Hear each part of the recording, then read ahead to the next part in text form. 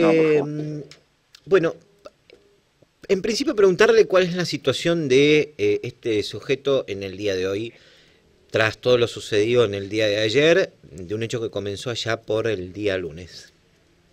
Bueno, momentáneamente se encuentra internado, en el hospital local a la espera de finalizar los estudios que, que, tienen que hacerle y, ver si eh, está en condiciones de trasladarlo eh, a un lugar adecuado. ¿Qué sería un lugar adecuado? Es un lugar cerrado. ¿Para personas con problemas mentales? sí, con ciertos problemas mentales. He hablado con el director del hospital, bueno, mostrado mucha predisposición, están tratando de, ubicar alguna institución eh, para tratar de para trasladarlo.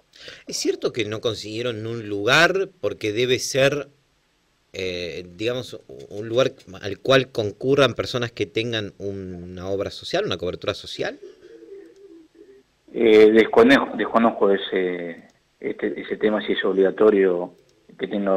qué sé yo, hay, hay lugares muy conocidos, digamos, a donde se interna a personas con estas situaciones que son del Estado, que son públicos. Sí, sí, por eso desconozco eh, si es obligación que tenga obra social para internarlo en ese lugar. Sí me comentó el doctor que, bueno, si tienen por ahí eh, otra relación que sería más fácil internarlo en otros lugares, pero son lugares abiertos y no estarían brindando eh, la seguridad que, se merece el caso. O sea, en, no es que, digamos, se ha demorado la internación por los estudios, sino por no conseguir el lugar. Sí, parte del estudio, pero eh, mayormente por el, por el lugar. Pero perdón, ¿y no hay un tiempo para haber acelerado que le hicieran los estudios? Sí, eso ya eh, escapa, de, escapa de mí. Ya creo que parte de los informes hay donde se, informa que es peligroso para sí, para terceros. Pero por supuesto, porque digo, ¿quién, quién lo debe decretar esto? ¿El juez, el fiscal, eh, ustedes? No, la, la internación, y eso ya lo solicitó el, el juzgado de familia de San Nicolás, pero bueno, los responsables del hospital de acá están gestionando para ubicar un, lugar para poder internarlo. El fiscal dijo el otro día que era un sujeto peligroso, él utilizó un calificativo para definirlo. Entonces lo que yo me pregunto es, ¿qué más van a esperar? ¿Que mate a alguien? Sí, la verdad que tiene eh, varios antecedentes de este tipo de, agresividad. Méndez, ¿y mm, qué pasó con la custodia en, la habitación? El personal policial que está ahí, eh, si bien está cuidando un detenido, eh, con respecto a este caso, está más que nada para preservar hacia las instalaciones, como los profesionales o la gente que, frecuenta en el, en el hospital, pero no, eh, ya este joven no, no estaba detenido. Hacer lo que ocurrió, en un momento dado se levantó, eh, salió corriendo con el efectivo que estaba, intentó retenerlo y, no pudo. Eh, bueno, se continuó con la búsqueda, una vez que se logró ubicarlo, eh, personal policial se dirigió hasta el domicilio, hablamos al juzgado, le planteamos la situación y bueno, eh, nos dio la directiva de trasladarlo nuevamente al hospital. Ahora, ¿Es cierto que un empleado del hospital le avisó al efectivo que estaba en el lugar y que hizo caso omiso a que se había ido del, del nosocomio? No, no. Yo hablé con el efectivo policial, intentó retenerlo, lo tomó de uno de los brazos y bueno, eh, no, no, no pudo dar con eso. Ajá. Y más, eh, como es prioridad de la persona que está alojada por un delito, eh, dio aviso inmediatamente. ¿Y no lo pudo ayudar nadie del hospital para que no se le escape? Por lo visto no. ¿No estaba esposado? No, no, ya le digo, no está detenido. Ayer simplemente, después que se lo trasladó nuevamente, se le posó hasta que se calmó un, rato, pero no, eh, ya digo, como no es una persona detenida, tampoco puede estar eh, privado de su libertad. Pero perdón, y con la gravedad que tiene tampoco de retenerlo de alguna manera, eh, intentando evitar que pasara a una situación mayor? Sí, por eso mismo se ha optado por, eh, si bien va a afectar la operatividad en lo que es en, la ciudad, eh, hemos optado por poner otro efectivo policial más. Porque yo me preguntaba esta mañana, eh, digamos, del hospital, eh, no se lo llevó un ovni, o sea, alguien lo tiene que haber visto pasar cuando salía y demás, ¿no? Digo, ¿cómo nadie eh, hizo nada para evitar que se vaya? Sí, seguramente, así como nosotros nos avisaron que estaría en su domicilio, creo que alguien lo tendría que haber visto salir del hospital. Eh, entonces usted dice que ahora se va a reforzar la seguridad en el lugar. Sí, sí, eso se, se reforzó. Yo le aclaro, le aclaro porque muchos medios están diciendo que está detenido. No está detenido. No, no, eso lo sabíamos, lo había dicho el fiscal, que era una persona que, que no... Que, algunos están diciendo que es una persona que está detenida, no está detenida. Hablé con el papá de la víctima ayer, si bien estaba eh, muy enojado, que es entendible por la situación que pasó su, su hija, bueno, entendió después cuál es nuestra función, lo que se, se gestionó, lo que se está haciendo. me he puesto a disposición de él, al igual que los oficiales de turno, eh, que cualquier cosa que necesite estamos a, disposición. Acá el tema es darle una solución a, a ellos, no un problema. Eh, ¿Y quién eh, dio la orden por la tarde de buscarlo en, en la casa? Nosotros una vez que nos aseguramos que estaba en la casa... ¿Es cierto que los vecinos comenzaron a llamar a la policía para informar que lo habían visto? Sí, sí, por eso a raíz de los llamados eh, pudimos certificar que estaba en el domicilio, por eso va el personal policial y ahí en ese momento mantenemos comunicación telefónica con la doctora que está interviniendo en, en la causa y bueno, quien nos autorizó a trasladarlo nuevamente al hospital local. Eh, estaba muy bien vestido, por lo que me dijo un vecino, y hasta incluso andaba en una bicicleta, ¿puede ser? Sí, en el momento que fue el personal policial estaba la bicicleta eh, afuera del domicilio. ¿Y la familia en ningún momento le dio aviso a la policía de que estaba ahí, que se había ido del hospital? No.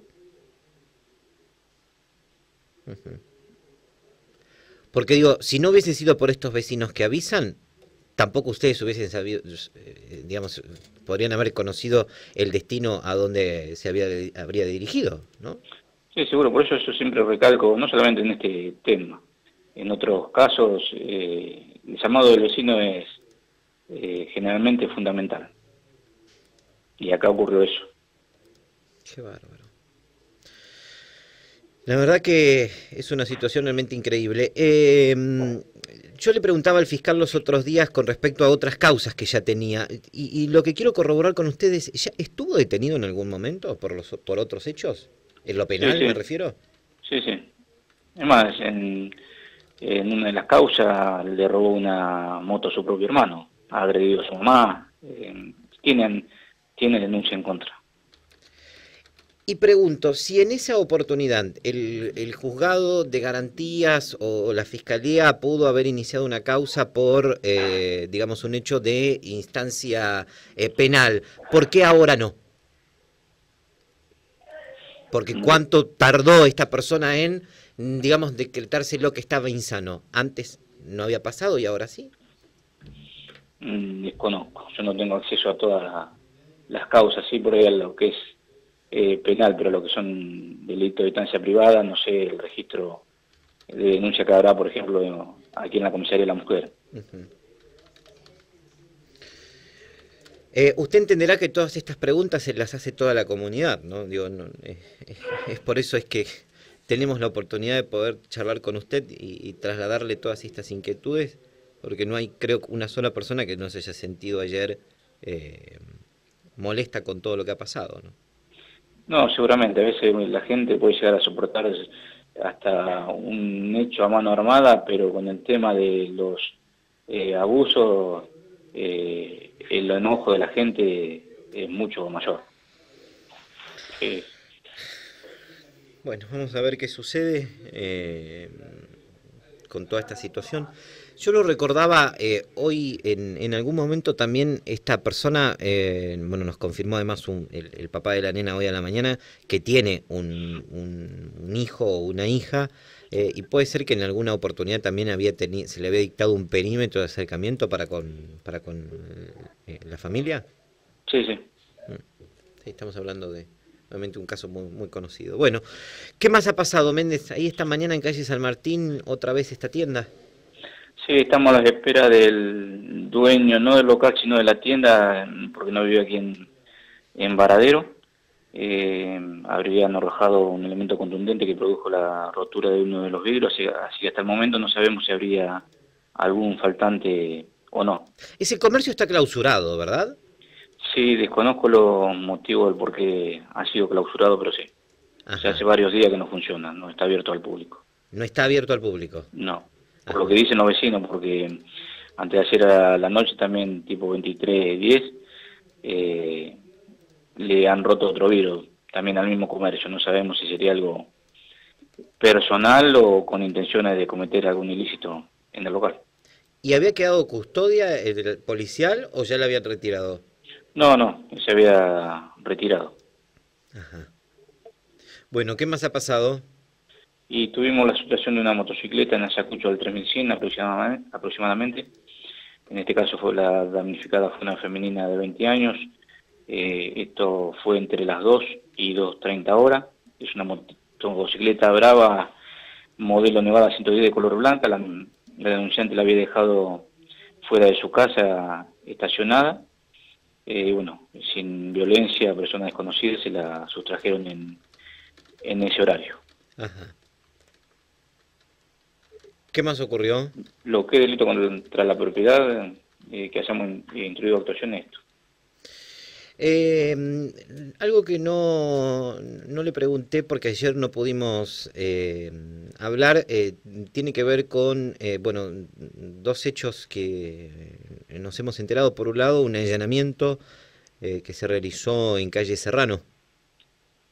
Sí, bueno, esto a raíz de un robo a mano armada que habría ocurrido en la forrajería días atrás, donde fueron, a raíz de la eh, averiguaciones que se realizaron, eh, fueron identificados eh, dos personas, una del sexo masculino y una del sexo femenino, eh, los cuales podrían ser los autores del hecho. se incautaron un par de zapatillas y prendas de vestir, las cuales en el día de ayer fueron exhibidas a uno de los damnificados y la reconoció como la que habrían utilizado en el momento de cometerse el ilícito. Esta, esta gente eh, uno de ellos hace poco que está eh, aquí en Varadero, no son oriundos de aquí, serían de Gran Buenos Aires, y su pareja hace más tiempo que está residiendo aquí en Varadero. Ajá. Bien. Eh, y por último, también habíamos tenido conocimiento de un accidente allí en calle Colombres y La Prida, que fue en la tarde del, del martes entre una moto y un vehículo, y que el vehículo eh, cuando se, uno de los vehículos se fue del lugar? Eh, un segundito, porque yo ayer estuve en Sí, usted, es verdad, usted no, no, no, estaba en el día de ayer. Por lo que pudimos saber, era un choque entre una moto eh, y una camioneta, aparentemente, y que la chica había sido trasladada al hospital por, por la ambulancia, por lo que pudimos saber, eran lesiones de carácter leves, pero eh, algunas personas nos habían informado que el vehículo se había retirado aparentemente del lugar, el vehículo de mayor porte. Sí, sí, no encuentro el informe que hacemos nosotros, no lo tengo a mano, no estuve, estuve ayer, pero estuve con otras cosas. Eh, ¿Pero fue más o menos así? Sí, sí. ¿Todavía no pudieron saber o identificar el vehículo? Hasta el momento no. Eh, le agradezco mucho por la gentileza de habernos atendido. Eh, y lo, último que sobre lo que usted mencionaba recién, usted dijo en un momento, eh, hay que algunos medios que dijeron sobre la detención, o sea, esta persona no está detenido. No está detenida. Esto que, digamos, una Hoy jueves 9 y 47 no está detenido. Una versión mediática, dice usted. No nuestra, sabrá, porque no, no, no, hemos, hemos, manejado la información como corresponde. Bueno, le agradezco mucho la gentileza de atendernos, ¿eh?